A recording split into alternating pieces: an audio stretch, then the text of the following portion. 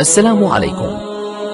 لا تنسوا الإعجاب بالفيديو والاشتراك في القناة تشجيعا لنا لنستمر بنشر المزيد إن شاء الله.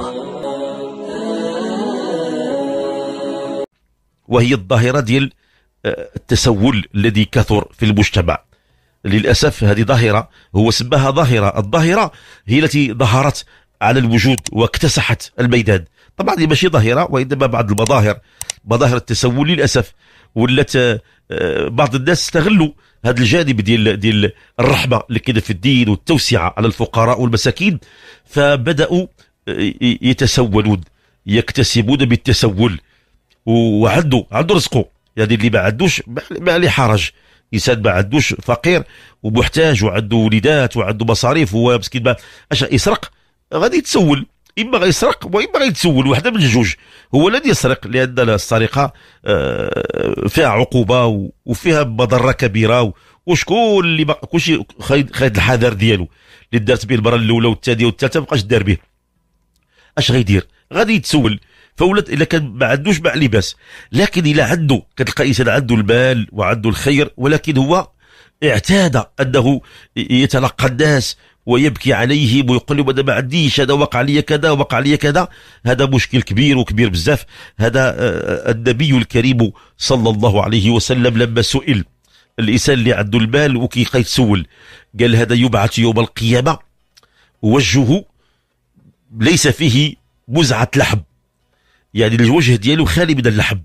لأن يوم القيامة يبانوا الناس كل واحد عنده العلامه ديالو. مثلا الإنسان اللي هو مؤددون غادي يكونوا أطول الناس اعناقا يوم القيامة. لذلك عنقه طويل اطرافه مؤدد يعني طبعا العلماء قال لك ماشي هو طول العنق بحال بحال زرافة مثلا حاشا وكلا لا. وإنما المقصود به العزة والرفعة. وغادي بالك اللي كان كيتصدق بزاف بالإحسان. يده طويلة. طبعا الإيد الطويله يعني فيها الدور والبياض وفيها واحد الإشراق. ليس ليس الطول الذي هو إذا زاد عن حده ولا عيب ولكن اللي كيتسول يبعث يوم القيامة ليس في وجهه مزعه لحم. يعني الوجه ديالو خالي من اللحم غير السكولات غير العظام في الوجه ديالو. لأنه كي كيتسول وهو عنده وهذا هذا ذنب عظيم وكبير. أي إنسان إلى ما يتسول إلا إذا كان مضطر. إذا كان مضطر. ربي دار القاعدة ديال الاضطرار. عندنا قاعدة شرعية في القرآن الكريم كتسمى الضرورة والإضطرار. اللي وصل ليها ما عليه حرج. فمن اضطر غير باغ ولا عاد فلا إثم عليه. لكن الإنسان إذا كان عنده خصو ما يتسولش. وأحسن طريقة للإنسان هو أنه يدعو الله يدعو الله. آه، يتسول الله تعالى. ما تسولش البشر. البشر ما تسولهمش. ما تقولش اليوم عطوني أنا محتاج أنا كذا. قولها الحق سبحانه وتعالى. والله تعالى يدبر لك الأمر. هو يدبر الأمر. سبحانه مدبر الأمور. هو لا قلتها ليه. الله تعالى كيلاقيك مع مع أفضل خلقه. الله كيصوب لك سيناريو. راه غدا غدا إن شاء الله. راه غيجي قدر جديد. راه سيناريو جديد. الله تعالى غدا غادي يلاقيك مع ناس آخرين وغادي يوضعك في واحد المحطة أخرى. ربي عز وجل كيتهلا فيك. ملي كتكون ذاكر وكتكون تطرق بابه وتدعوه كيقول يا ملائكتي اكتبوا لعبدي قدرا حسدا. كتفيق في الصباح الباكر أول ما كيعطيك الله تعالى الرضا. رضيت بالله ربا وبالإسلام دينا وبالقرآن إماما وبسيدنا محمد نبيا ورسولا. بعده ربك عز وجل يعطيك الصحة. يعني أنت كنتي مريض غتمشي للاطباء وتمشي المعالجين أعطاك الله واحد الشعور بالصحة واحد العافية واحد النور يجري في جسمك. هذه هذه كرامة. ثم الله تعالى غادي يلاقيك مع الناس الطيبين. بدءا بالجيران. الجيران وحتى العائلة. العائلة كل واحد من أفراد الأسرة فيه واحد العرق لطيف جميل وعنده واحد العرق متمرد وربما شراني الله تعالى كيخلي داك اللي معك في البيت إما الزوجة أو الزوج أو الأولاد أو العائلة أو الإخوة كيخلي داك العرق الطيب اللطيف هو اللي كيخدم. داك داك كيعزف عليه داك الوتر. كتلقى فيه غير الطيبوبه والابتسامة والكلام الجميل. ولا كان فيه شي شر ربي كيقول لي أسكت. يخفت ذلك الشر فيه. ثم الجيران كيلاقيك الله غير مع الطيبين مع الجيران. تمشي للخدمة غتلقى زملاء في العمل كلهم بدك النهار طيبين. أصدقاء غيلاقيك الله ناس ما كتعرفوش أصلا إما في الطريق وإما في المطعم وإما في الحافلة وإما في المصعد أي مكان. ناس طيبين غتلقى غير الخير غير الخير. والله هادشي مجرب والله مجرب. كيلاقيك الله تعالى مع من هما أحسن منك. ويدفعونك يدفعونك إما بكلمة طيبة إما بدفعة إلى الأمام إما بالخير. هذا كله باللي كت باللي كتسول الله تعالى وحده لا شريك له كيكتب لك مكاتب الخير. أما من تسول غير الله ربي عز وجل كيقول لي يا فلان. كيقول لي تركت بابي وتركت باب غيري. آه، فاركض إليه. سير عنده سير خليك بدك ليه. وطبعا عندك اللي غتمشي لعنده واخا يكون سلطان. راه ما غادي يعطيك والو لأنه هو ضعيف أصلا. الله تعالى هو مالك الملك وهو رب الأرباب وعنده خزائن السماوات والأرض وهو الذي قال ادعوني استجب لكم أسأل الله تعالى أن ينبهنا بأخطائنا ويرزقنا رزقا حسنا. وهي الظاهرة ديال آه، التسول الذي كثر في المجتمع.